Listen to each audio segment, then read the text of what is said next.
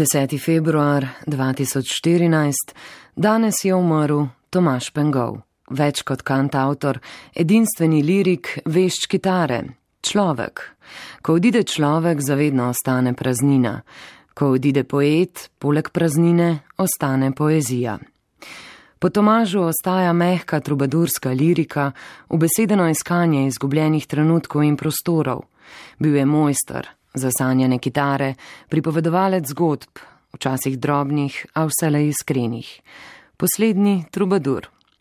Pripovedi, rimska cesta, biti tu, koncert, drevo in zvezda, ter seveda legendarna odpotovanja iz leta 1973. Začnejo se s cesto.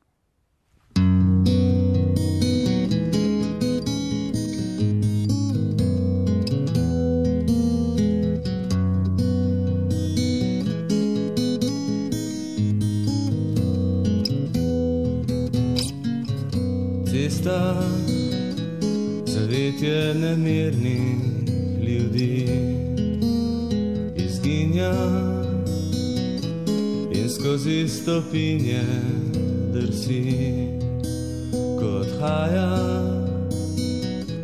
in glasna obzorja rodi. Tihe roke neštetih ur pijajo svet neznan prav tam na cesti, med klasjem hitečih ljudi in živijo brezčasne trenutke glasov, ko letijo po stezah stoletnih sledi sončna zarja je njihova sreča, ko sence budi. In ujeti so vanje, ko cesta prižge jim luči in pogrne stihote mojim klopi. Zidove in parke in stebre dreves da zaspijo v sanje razbiti noči. Ja, cesto sem napisal prvo, prav spomnim se, ker sem tam grozen v Kenu, nepozabno.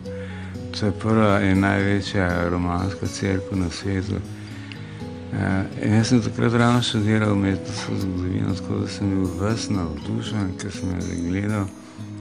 In ko sem pa videl, da je obdana z zidarskim plotom in da se noter nekaj posebnega dogaja, sem zlezel čez plot. Večni tujci, polnih naročij, prijateljstva, prav tam na cesti, zagrnjeni s plaščem, držja brez odhodov ker so posod doma na cesti, prebodeni z mečem sonca. Morda iščejo več kot posmeha zaklenjenih glav. Morda iščejo tujo besedo odprtih oči. dneve svobodnih trenutkov, nemirnih poti,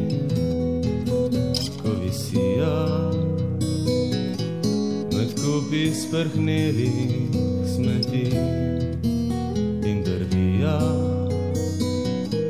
od mesta do mesta brez sna in zgubijo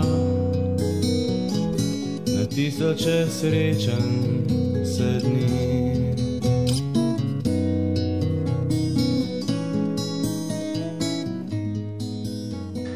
sem kar dihal tisto zgodovino, sto in sto letno. Na to je nastala cesta, ki je bila pa res prva. In se je kar, kar spojila v meni, da bi prav en kratek stik nastal med besedo in glasbo.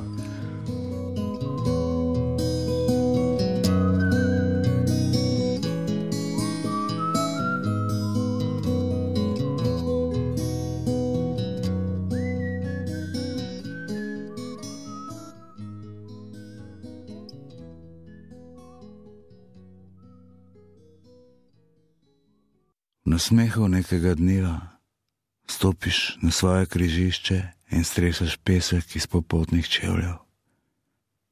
Nekdo te vpraša, kam hočeš, ti skriješ utrujene noge in poveš, da si bil tam.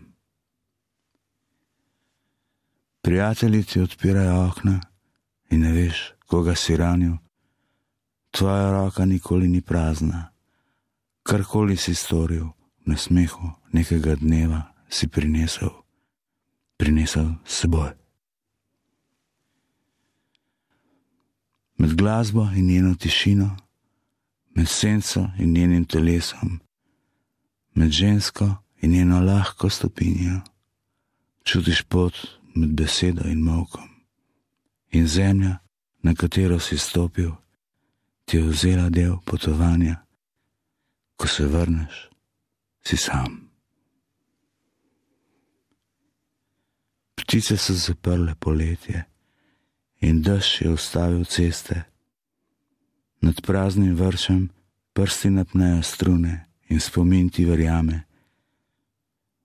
V tišini pretrgaš zaveso in stopiš pred drevo, ki si ga posadil, na smehu nekega dneva, da odlomiš vejo za na pot.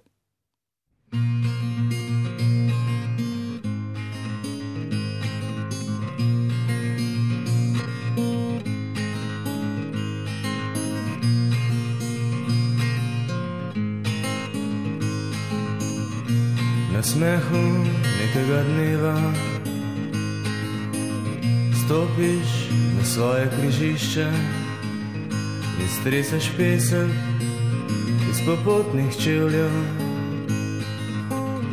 Nekdo te vpraša, kam hočeš, ti skriješ utrujene noge in poveš,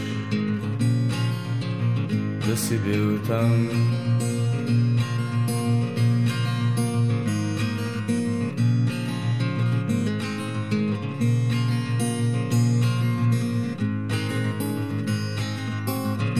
Prijatelji ti odpirajo okna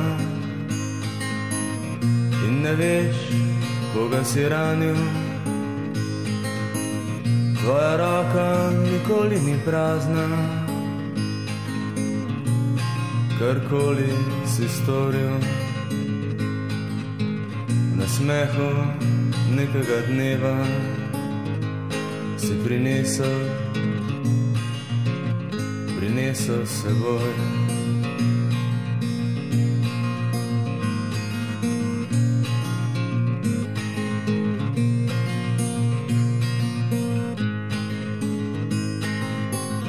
Med glasbo in njeno tišino, senco in njenim telesom, med žensko in njeno lahko stopinjo čutiš pot med besedo in malkom. In zemlja, na katero si stopil, ti je vzela del potovanja, ko se vrneš, si sam.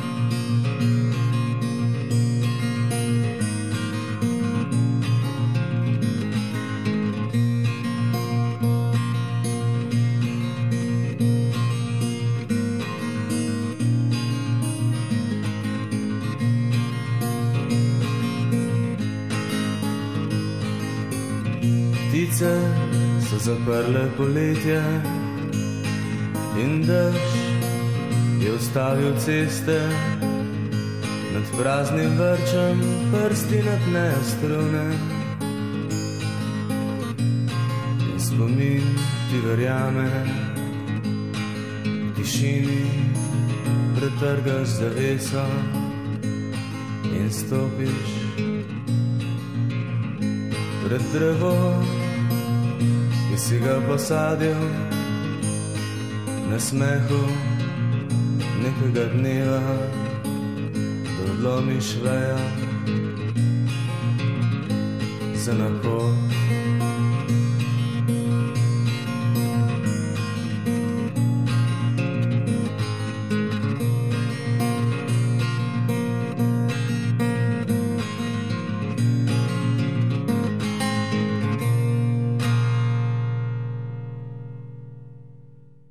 pot. Daj pomisli, koliko ljudi se je ljubilo, da si zdaj ti. Koliko sanj je v času sklilo, koliko dejanj se v nič izgubilo. Kaj je mislil janski človek, ko je dlan naslonil v glino? Prvič zanetil svoj večni ogenj in stopil svojo zgodovino. Ko je bilo šumenje morja, uganka, bežečega obzorja, veter dih neznanega duha, konec sveta, senca gora. Kaj je mislil janski človek, ko je dlan naslonil glino, prvi zanetil svoj večni ogenj in stopil v lastno zgodovino? Dvignil je kamen, meč, zastavo, stopil na vrh, dosegel dno, objel je revščino in slavo in se potem prijel za glavo.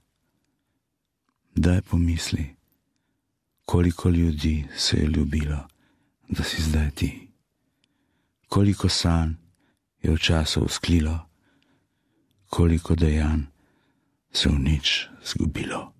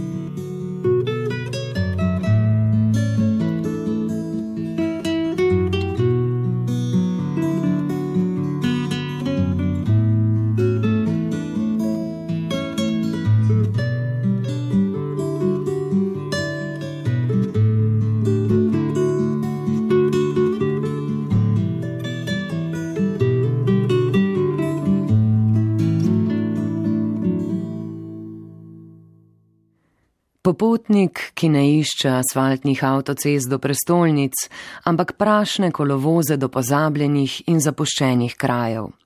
Na obrobju sveta, malikojočega hitrosti in hrup, so morda še skriti kraji, kjer je mogoče poslušati roso, iskati pogled drevesa, se pogovoriti s klateži, romarji in begunci, videti barvo tišine je v spremnem besedilu k pesemski knjigi Drevo in zvezda zapisal pesnik in Tomažov prijatelj Milan Dekleva. Bolje se povedati ne da. Tomaš Pengov Pigel, tihe najti bodo nive in lahko potovanje nespečih.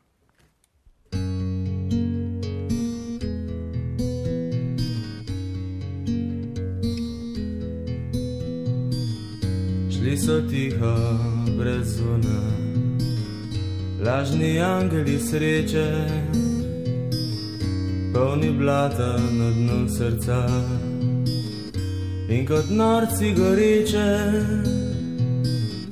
so odvrgli imena in uničili pot nazaj.